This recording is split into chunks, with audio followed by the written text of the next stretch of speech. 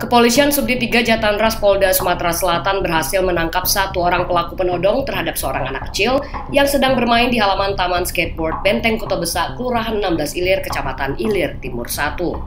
Dari tangan pelaku, polisi mengamankan barang bukti satu unit telepon genggam milik korban yang dibawa kabur pelaku. Mama di Mama dia enggak kedungan taman skateboard Pertamina pastikan stok BBM dan LPG.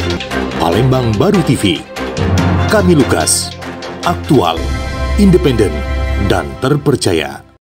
Inilah suasana di Mapolda Sumatera Selatan pada Selasa pagi. Tersangka atas nama Gunawan alias Anang, warga Lorong Jambu, Kelurahan 36 Ilir, Kecamatan Gandus, kini tak berkutik saat digelandang tim Jatanras Polda Sumatera Selatan usai melakukan aksi penodongan. Peristiwa penodongan ini terjadi pada tanggal 24 Desember lalu, yang mana korban merupakan seorang anak kecil yang masih di bawah umur, sedang bermain di taman skateboard di kawasan pelataran Benteng Kota Besar, Kelurahan 16 Ilir, Kecamatan Ilir, Timur 1. Dari tangan tersangka, polisi mengamankan barang bukti satu unit telepon genggam milik korban yang dirampas pelaku. Mana be? Kasus apa be kau? Kasus aja. Terus? Apa lagi? Apa lagi? Nyepet lu. Nyopet, terus lagi? Pak. Di hadapan polisi, tersangka mengatakan sudah lima kali melakukan penodongan di kawasan Pasar 16 Ilir dengan cara merampas handphone milik korban dengan menggunakan tangan kosong.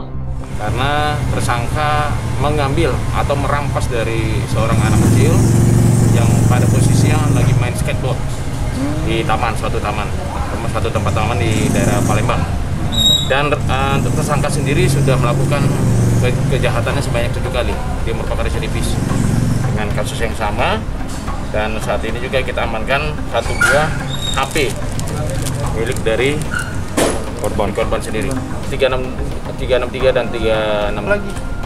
Menurut keterangan Kasubdit Jatanras Polda Sumatera Selatan, Kompol Christopher Panjaitan, karena tersangka mengambil atau merampas dari seorang anak kecil yang pada posisinya lagi bermain skateboard di taman, sendiri sudah melakukan kejahatannya sebanyak tujuh kali, dia merupakan residivis dalam kasus yang sama.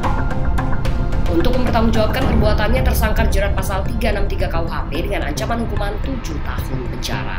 Dari Palembang, Sumatera Selatan, reporter Jen kameramen Febri, BBTV mengabarkan. Jawab dulu. Siapa?